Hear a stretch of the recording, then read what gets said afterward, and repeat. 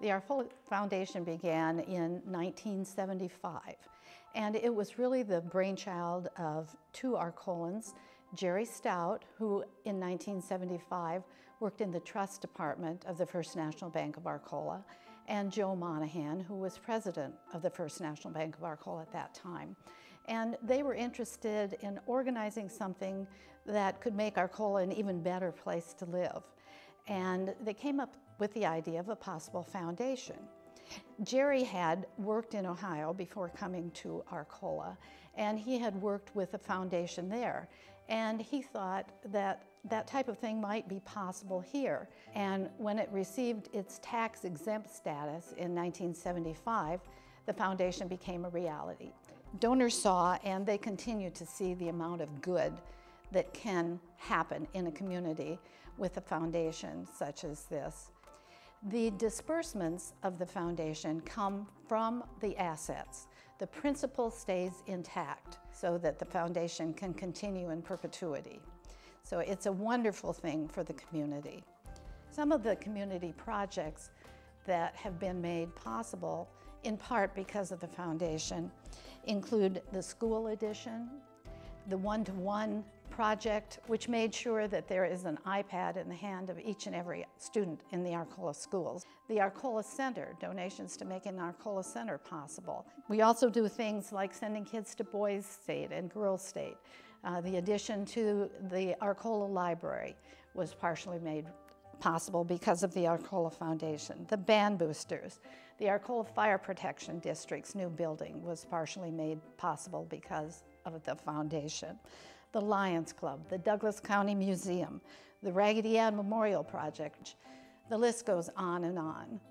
In 2016 alone, the foundation gave over $30,000 in scholarships to 37 students. Total disbursements within the community in uh, 2016 were over $221,000. So it, it's just almost unbelievable that a community of this size can have these kinds of projects that do so good for so many people in the town. I think the foundation is a good example of something that we can be proud of now and in the future because it was really set up to make sure that future citizens of Arcola also had some of the things that many people in small towns just don't have. You know, Arcola is a wonderful place to live, but it's even a better place to live because of all of the things that the foundation has made possible and helps to make possible and continues to work on.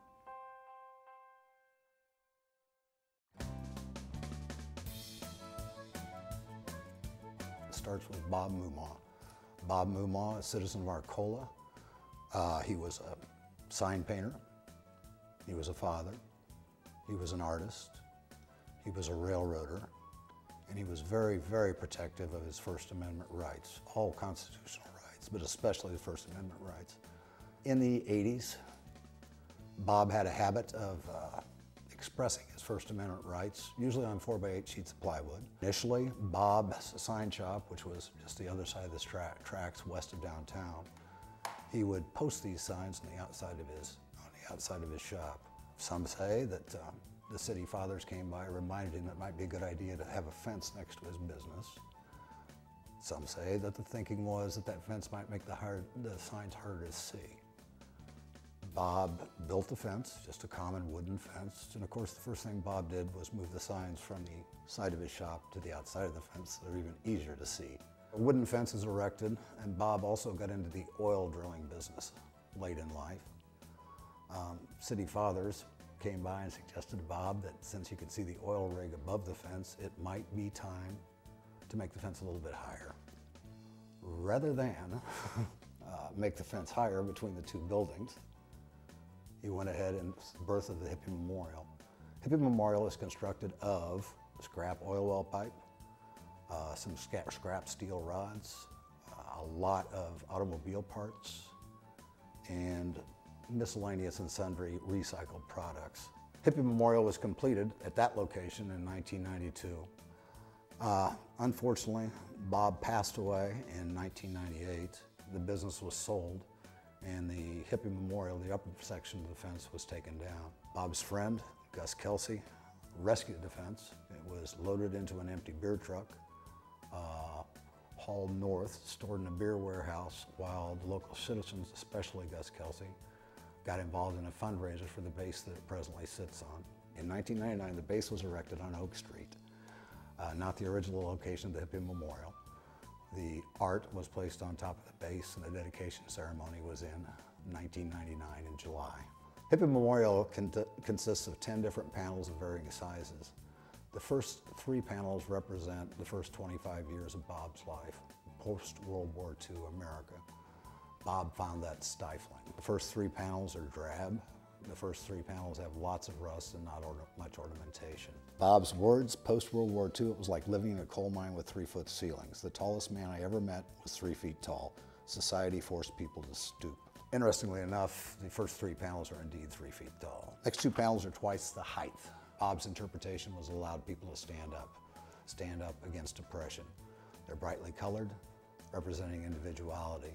They represent the era of the Kennedy administration, civil rights, and the hippie movement. The next five panels neck down. They represent the 80s. Bob was not real enamored with the performance of Reagan and especially the Fords. They're featured in many of the signs that were on the sign shop or the fence next to the sign shop. Not much ornamentation on the last five panels and very, very drab. Interestingly enough, in Bob's words, to my shame, I was no hippie, although he really embraced the hippie movement and the freedom that it brought. Although Bob passed away, his legacy lives on in the Hippie Memorial.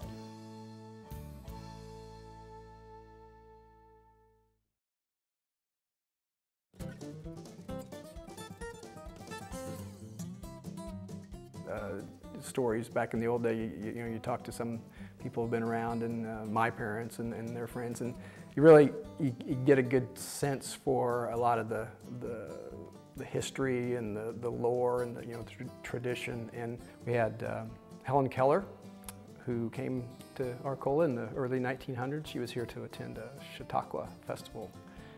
Charles Lindbergh dropped in unexpectedly. The story I've been told is he, he did actually have to land nearby. His plane was, uh, he had some trouble and, and uh, so landed here, came to Arcola. Um, he used to deliver mail between uh, from St. Louis and Chicago, and so it was his, his uh, trip to town. Ozzie and Harriet, the, the, famous television show back in the 50s and 60s, the stars. Uh, Lawrence Welk was, was, came to town, you know, huge name back in the day, Lawrence Welk. I can remember um, with my, you know, watching him on TV with my grandparents. Back in the 1940s, we had uh, Ella Fitzgerald came to town, and uh, she uh, was with a, a group and uh, stopped in and went, went, to a restaurant to eat and was very appreciative of the, the, way they were treated. In fact, at the end of the meal, she got up and sang as a tribute to the, the, the good service that she had had. Is Dave Barry, who's the famous author and, and comedian. Uh, he came to Arcola. He was invited to come up uh, to the Broomcorn Festival Parade and, and ended up marching with the Lawn Rangers and uh, that was a lot of fun. He's quite a character himself and uh, fit in very well with the, with the Lawn Rangers. So one of the things that really draws a lot of uh, celebrities here is the, Broomcorn Festival itself. We've had a lot of big names uh, come through the years here. Uh, Tracy Lawrence, Mark Chesnutt, John Michael Montgomery, Neal McCoy, uh, they were all here. A couple years ago we had the Henningsens, the group from, from Atwood, so they were here and did a great job. Had a really big crowd, you know, local crowd with it from uh, stars from the area. One, probably the biggest name to, to come to the uh, Broomcorn Festival was Garth Brooks. And uh, he was here a, a, few years back. This was back before he'd kind of hit the real big time and become a, a superstar. But coincidentally, after he comes to Arcola, then his career, you know, skyrockets and he becomes the uh, country music legend that he is today. You know, not every town has the, the fortune, good fortune of having uh, you know, some of the people that I've mentioned, you know, to come through. And it's just, it's, it's just kind of a neat, unique character, I think, that uh, Arcola has to, as a part of its story and its history and tradition.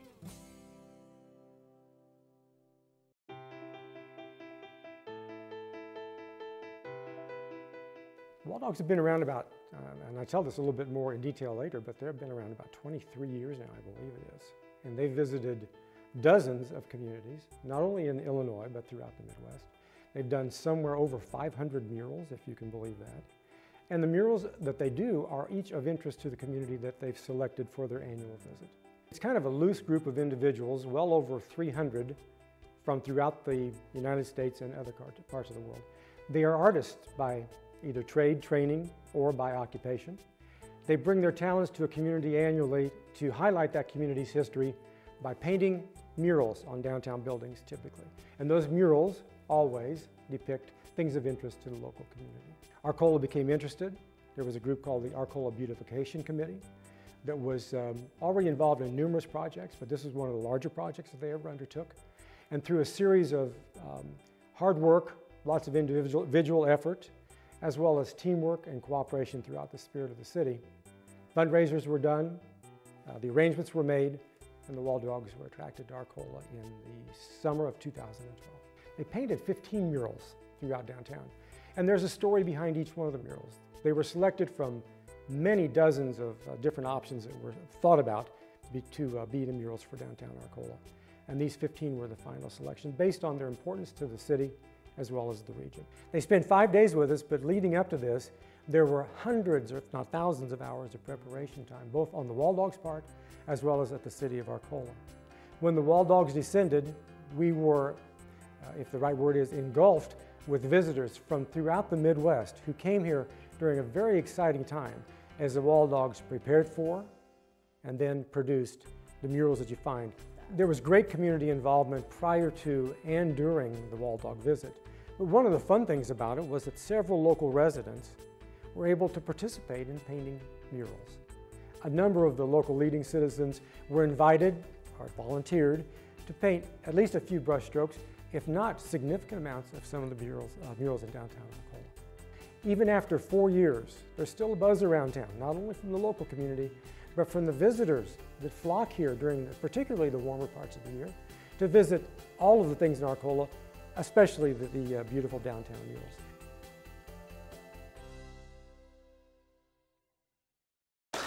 We are back! We have had so much fun tonight. It's not over yet. We still got more people that want to call, and we want to be sure we thank them. John from Arcola, Robert from Arcola, and Larry from Arcola. Thank you so thank very you. much. We're up to 83. There's somebody on the phone. That's 84. Can we make it to 100? That's our goal for tonight. Let's see. What you do you have it in you? Well, I think they have it in. I know they do. We're all about champions mm -hmm. here Mm-hmm. tonight, right? Arcola's champions. We are the champions. Yes. I mean, a school that is so strong in sports, academically, they're mm -hmm. strong. We've got so many great people that we've already known in Arcola, and we got a lot of more people that we want to get to know. When you call in and you become a member of WEIU, you're in it to win it. We're your family now. So it's not just like you call in, get a DVD, and we say goodbye, we never want to talk to you again. We do. I'm the membership manager here at WEIU. We take that very seriously. You're giving to a PBS station. We're a non-for-profit. This isn't just this means a lot to us. It takes a lot to do a program like this. We work super hard, but we want to do it because we want to do it for these small communities. I'm also the publicity promotion specialist for WEIU, and I'm all about promoting Arcola tonight because of all of these amazing volunteer storytellers and underwriters who have supported this program have stepped up and said, we have stories to share. We want people to know about Arcola and how amazing it is, and all you have to do is call in, help us meet a 100 caller goal tonight. Mm -hmm. We're not that far from it. Oh gosh, we're so close. Who's going to be the next one to call? There's a phone ringing now. Mm -hmm. Wouldn't it be awesome to end See, this tonight? It's going to happen. I Come can feel on. it. If you've been on, if you've been waiting all night, the phone number's at the bottom of your screen. We need you to call. So it's not just that we want you to, we need you to call. Arcola needs you to call. They need to know that what they have stepped up to do means mm -hmm. something to you. Yes. And when you help them reach that goal, that will give them all the pleasure in the world. Mm -hmm. Because Mick told me just a minute ago, we have to reach that goal. we don't yes. lose. No. Arcola is champions. They are winners. There is mm -hmm. never a goal that they have never met that they don't set their mind to. We are going to meet 100 tonight. I, I know it. You keep calling. Yeah, I just got goosebumps. You know what that means? That means we're going to hit the 100. Yep. I know we are because when I get goosebumps, that's telling me something good is just about to happen here in WEIU in our studio, right here on campus of Eastern Illinois University because Arcola, you are truly amazing. Absolutely. And I've been so honored to be a part of this program, to get to know all these wonderful people. We know them by first name basis now. We get hugs from them. We get to see them in their communities. Mm-hmm. And all of these phones are starting to ring right now. Mm-hmm, if Come you know them, if they're your neighbors, if they're your friends, if you have worked with them, if they're your family, you call in and you say thank you. it's making me emotional right now because there's always this part of a program where we start hitting the end and everybody steps up and says thank mm-hmm. you. We, when we think about everybody who knows everybody, what about Dr. Errol? And what did he tell you a while ago? Because you're supposed to remember his story. He told me that um, one of the Pullen, where's Dr. Ronnie. Errol? Ronnie, Ronnie. Pullen's, Ronnie Ronnie, no, Ronnie Gears. Who was it? That's Ronnie Tell Gear. me again. Okay.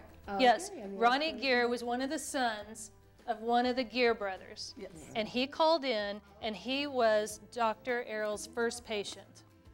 And when Dr. Errol retired, the girls in the office made sure that he was his last patient. Isn't and he called in to get a copy of a DVD tonight. Don't you be crying. I know. Come on, get people calling. We don't want her to cry. No, but that just does show that this is um, this kind of a program just touches our heart. It's mm-hmm. not something we can fake. It's not that's not who we are. People keep on asking, how do you girls stay going? Because we know we believe in what WEIU mm-hmm. does for these communities. We could not do it without the underwriting mm-hmm. support from our this program for the people that call in. And then we can give a gift back to you, which is a DVD of the special program. We wanted to get to 100 tonight. Yep. We are so close. So close. And you know what? We want to get there, but if we don't, we still love you, but we still want you to call tonight. We would love to get up to 100 because talk about celebrate. We want to bring all our storytellers that are in here tonight to Yeah, come we're forward. going to here Yes, we momentarily. We've got some more thank yous Yes, coming in over here. I'll tell you what, I'm not the only one tearing up in the house. We've got some people over there that are tearing up as well, and I've got a thank you back here. We've got Bob from Arcola. Thank you, Bob.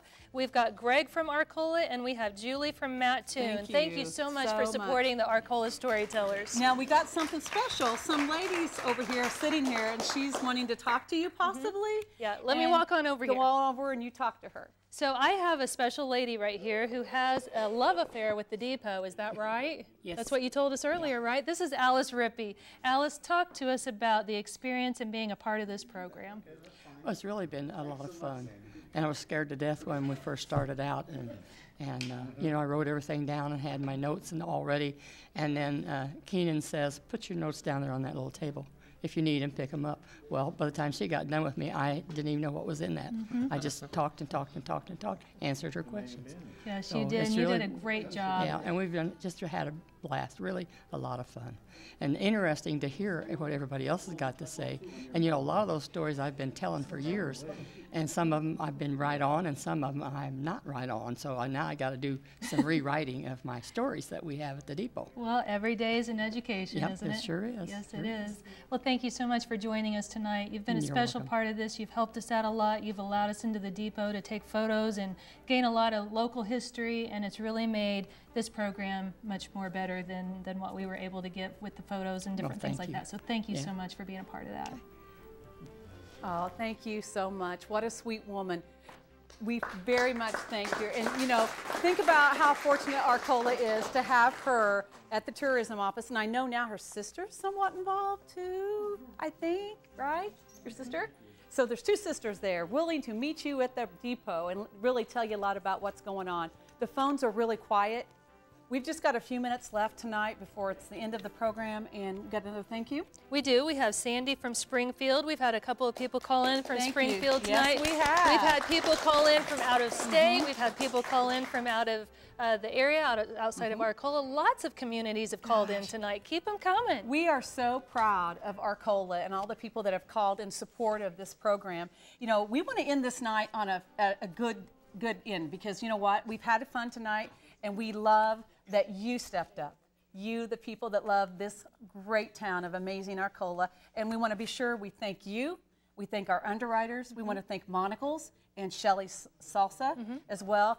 We could not have had this beautiful live night here tonight without everybody that's involved, without all of our storytellers that are here tonight. You're, you're very, very special to us. And um, we just want to give a huge hug to you. If we could reach out there to the TV and hug all of you, we would do that.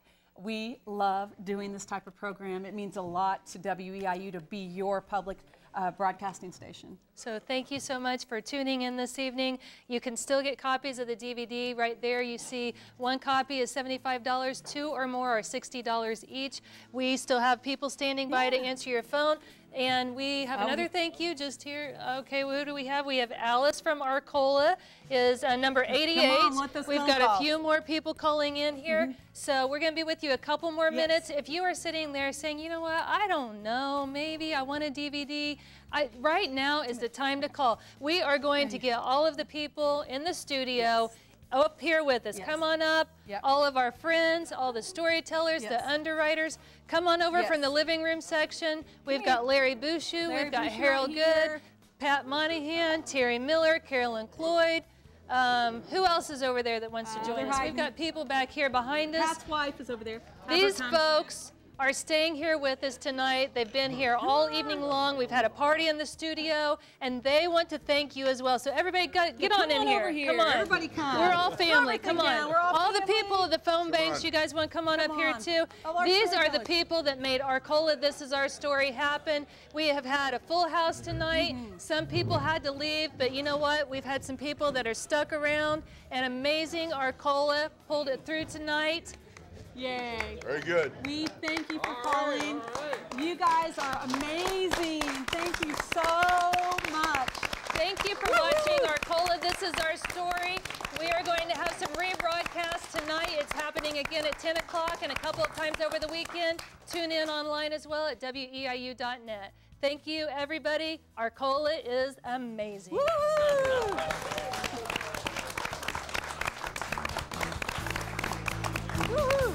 Arcola, This Is Our Story, is brought to you in part by the Monahan family all live in Arcola and carry on the family tradition of supporting their community of Arcola. Monahan Partners hopes you enjoy Arcola. This is our story. We're in this together. Additional information about Monahan Partners available online at monahanpartners.com. The Libman Company, with their mission of bringing the world a better way to clean through innovation, design, and quality, thanks to Arcola This Is Our Story storytellers for making this show possible. The Arcola Foundation supports business, tourism, and economic development in Arcola. The Arcola Foundation is excited to support Arcola. This is our story. The Arcola Foundation supports the storytellers and community for coming together for this TV program on WEIU. The Green Mill Village properties, which are Best Western Plus, Carriage Crossing Senior Living, and Green Mill Village Theater, are happy to help support the storytellers and production of Arcola. This is our story to WEIU. Diamond Brothers Insurance, insurance since 1867. Diamond Brothers supports the efforts of all the storytellers and supporters of Arcola. This is our story. A high level of integrity and a strong belief in the good people of the Arcola area describes Arcola First Bank. Arcola First Bank is proud to help bring you Arcola. This is our story on WEIU TV.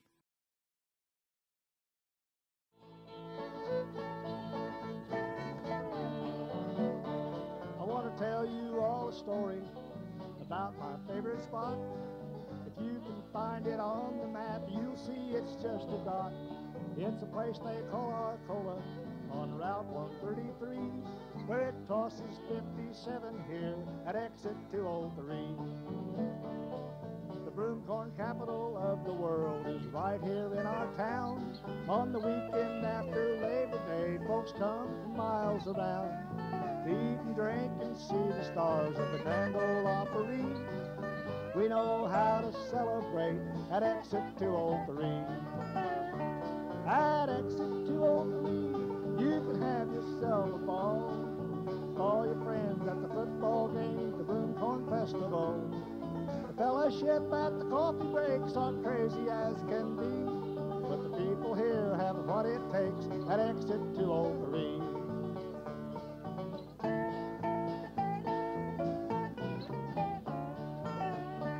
Why the world-renowned Lawn Rangers originated here. They were raised on broomcorn, fertilized with beer.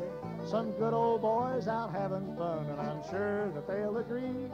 They're proud to be a native son of Exit 203. We're the birthplace of a rag doll that's known as Raggedy Ann. And the tales of her and Andy are told throughout the land. And in the month of May, we'll celebrate with the Gruelle family the Raggedy Ann Festival at Exit 203.